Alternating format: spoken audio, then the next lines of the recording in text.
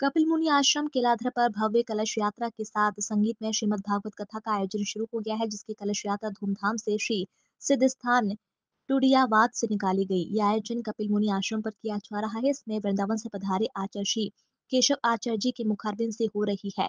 श्री कपिल मुनि के आशीर्वाद से सभी क्षेत्रवासियों के सहयोग से इस भव्य कथा का आयोजन किया जा रहा है और सात जनवरी से कथा प्रारंभ होगी और हज़ारों भक्त इस भागवत कथा में प्रतिदिन शामिल होंगे। प्रतिदिन भंडारे का आयोजन भी किया जाएगा। कलश यात्रा के दिन ग्राम टुडियाबाद की तरफ़ से भंडारे का आयोजन भी किया जाएगा, जिसमें हज़ारों की संख्या में भक्त उपस्थित होंगे और प्रसाद ग्रहण करेंगे। यहाँ हर साल की भांति मकर संक्रांति पर एक भव्य आयोजन क्षेत्रवासियों के माध्यम से किया जाता है। उसी क्रम को आगे बढ़ाते हुए आज जो है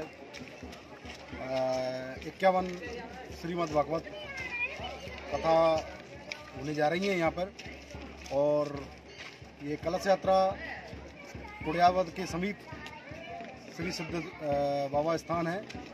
वहाँ से श्री कपलमुनि स्थान तक निकाली गई। भागवत कथा कब से और कब तक चलेगी ये? ये आज से आज कलश यात्रा है आज से ही आरंभ है। और चौदह जनवरी तक ये चालू रहेगी।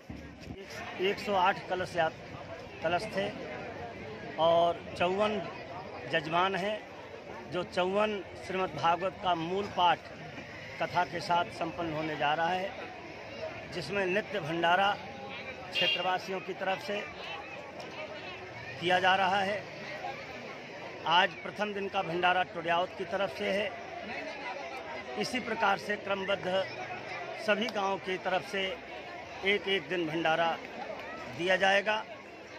और यह कार्यक्रम विगत कई वर्षों से मकर संक्रांति के पावन पर्व पर किया जाता है, जिसमें षष्टम महामहोत्सव है जो मनाया जा रहा है। बड़े धूमधाम के साथ में सारे क्षेत्रवासियों का बड़ा सहयोग है और कपिलमुनि भगवान की बड़ी कृपा है और मैं जनता जनार्दन से समस्त जनता जनार्दन क्षेत्रवासियों से आह्वान करूँगा कि सभी जनता कौन सी भागवत कथा है? कितनी कितनी भागवत श्रीमद भागवत सप्ताह ज्ञान महायज्ञ है। कब से चल रही है ये कथा? ये आज से प्रारंभ हुई है। अच्छा कब तक चलेगी? ये चलेगी चौदह तारीख तक। तो बताया जा रहा है यहाँ पे ये इक्यावन भी कथा हो रही हाँ, है। चौवन चौवन। चौवन भी। चौवन चौवन भागवत का मूल पाठ हो रहा है। अच्छा कब तक चलेंगी ये ये कथा चौदह तारीख तक। चौदह तारीख तक चलेगी।